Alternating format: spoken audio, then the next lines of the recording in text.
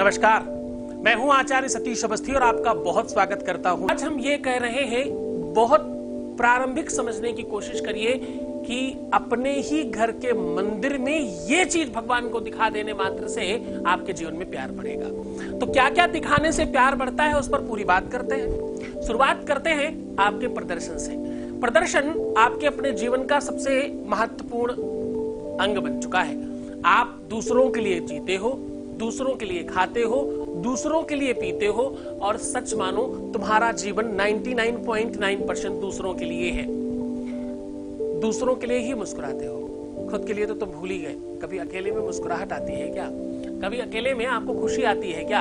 अगर नहीं तो भाई ये कमी है तुम्हारी। इसको आज के आज ठीक करना, प्रारंभ करना। आज इसमें थोड़ा सा बल डालना और इसमें थोड़ी सी कोशिश करना कि ये चीज़ आपकी हम ठीक कर सके। इसे सुव्यवस्थित किया जा सके। आप दूसरों को दिखाने के लिए अच्छा खाना खाते हो। आप दूसरों को दिखाने के लिए अच्छा कपड़ा पहनते हो। आप दूसरों को दिखाने के लिए सुंदर बनना चाहते हो। दूसरों को दिखाने के लिए श्रृंगार करते हो, दूसरों को दिखाने के लिए ही आप पैसे कमाते हो, दूसरों को दिखाने के लिए ही आप एजुकेटेड होना चाहते हो, बड़ी जॉब पाना चाहते हो, बड़ा बिज़नेस करना चाहते हो। दिखा देंगे हम भी हम भी कुछ चीज़ है। एक्चुअली कहने का सीधा संदर्भ ये है कि कभी ना कभी उस बात का आपको अनुमान, भान हो जाएगा। सत्य को स्वीकार करने के लिए, सत्य को जानने के लिए और सत्य को सही में समझने के लिए आपको गहरा उतरना प्रदर्शन, क्या दिखाना चाहिए और क्या छुपाना चाहिए?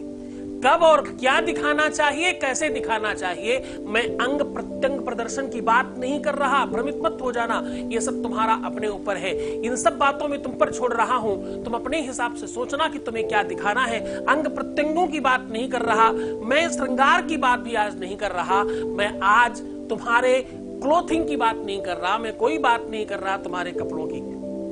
आज बात कर रहा हूँ, तुम्हारे नेचर की, तुम्हारे व्यक्तित्व की, तुम्हारे स्वभाव की, तुम्हारे नेचर की, तुम्हारी भाषा शैली की, तुम्हारे तुम्हारे व्यक्तित्व में जो आंतरिक उभार आता है अंदर से निकल करके, मैं आज उसकी बात कर रहा हूँ। मैं मैं रोज जिसे ठीक किया करता हूँ, मैं रोज जिस विषय पर काम किया करता हूँ, आज उसी बात पर बात कर रहा हूँ। उससे बिल्कुल भिन्न नहीं है आज। आज हम कह रहे हैं कि भगवान को भी कुछ दिखाने की अगर तुम भगवान को ये वस्तु और इस प्रकार से दिखा दो तो तुम्हारे जीवन में प्यार बढ़ता है। और और जरा ध्यान से समझना, इसके लिए बहुत सारा समय नहीं चाहिए। ये कुछ क्षणों में ही हो जाएगा। ये तुम त्वरित कर पाओगे, इसमें बहुत सारा समय नहीं लगेगा, क्योंकि भगवान जल्दी प्रसन्न होता है। भाव। क्या चाहिए भगवान को? बताऊँ क्या? भाव का भूका भाव का भूखा हूँ मैं भाव ही एक सार है। भाव से भज लो हमें भाव से भज लो हमें तो भव से बेड़ा पार है। भाव से भज लो हमें अगर तुम भाव से भजते हो, भाव बिन बिकती नहीं कोई भी वस्तु बाज़ार में। हर वस्तु का भाव है, हर वस्तु का अपना मूल्यांकन है, हर वस्तु की अपनी कीमत है, हर वस्तु की, हर भावना की, हर संवेदना की अपनी कीमत है। कभी वो चीज़ पैसों से बिकती है, कभी संवेदना संवेदनाओं से बिक जाया करती है। सीधा उपाय को और लिख करके लेके चलूँगा। आज मैं आपको, मैंने जो प्रॉमिस किया था, जो आपको था कि ऐसी कोई चीज़ जो भगवान को दिखानी है, उससे आपको प्रेम बढ़ेगा। वो वस्तु है मिरर। मैं बात कर रहा हूँ शीशे की। भगवान को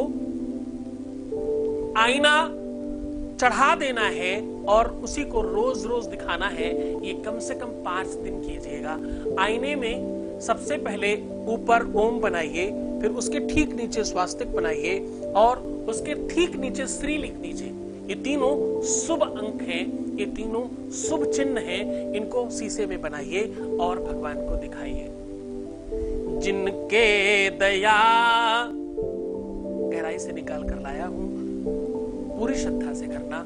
जिनके दया धर्म नहीं मन में, जिनके दया धर्म नहीं मन में, मुखड़ा क्या देखे दर्पण में, मुखड़ा क्या?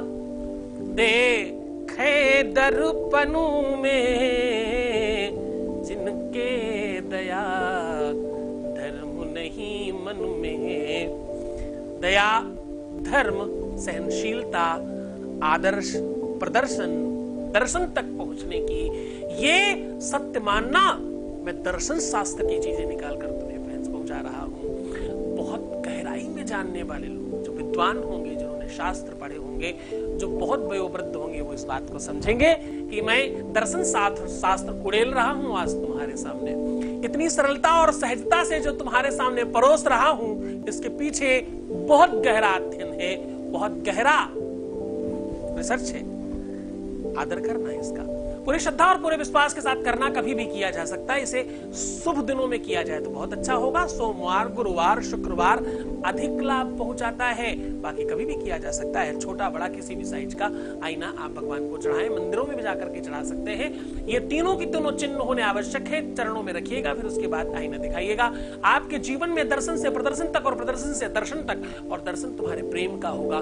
दर्शन तुम्हारे जीवन में एक अद्भुत आनंद का होगा। मिलन का होगा, संसर्ग का होगा, विवाह का होगा, वैवाहिक जीवन के सुख का होगा। आप सत्य मानना, ये वैदिक परंपरा है और इससे सबको लाभ हुआ है। पूरी श्रद्धा, विश्वास के साथ ये उपाय करिएगा। बहुत मन से रहने की कोशिश करिएगा। अपना ख्याल रखना। मुस्कुराते रहना, पानी पीजिएगा, अपने को सुंदर बनाइएगा। ध्यान रखिएगा खुद का। मैं हूँ तुम्हारे साथ। छोड़कर जा रहा हूँ तुम्हें उन गलियों में, उन पगडंडियों में, उन ख्यालों में। उन विचारों में जहाँ सिर्फ़ और सिर्फ़ प्रेम है। प्रेम में मुस्कुराना प्राथमिकता पर है। ध्यान रखना अपना। ओम नमः शिवाय। दिव्य ज्ञानी शिव भक्त सदगुरुनाथ जी महाराज के मुखार बिंदु से सुनिए आनंदम शिव महापुराण कथा। दिनांक 10 से 18 अप्रैल 2023 समय दोपहर 12 से 4 बजे तक।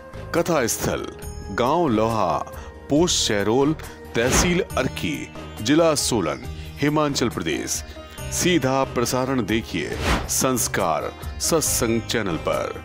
इस कथा में यजमान बनने एवं कलश यात्रा के लिए संपर्क करें। Eight nine one seven zero two zero two zero two.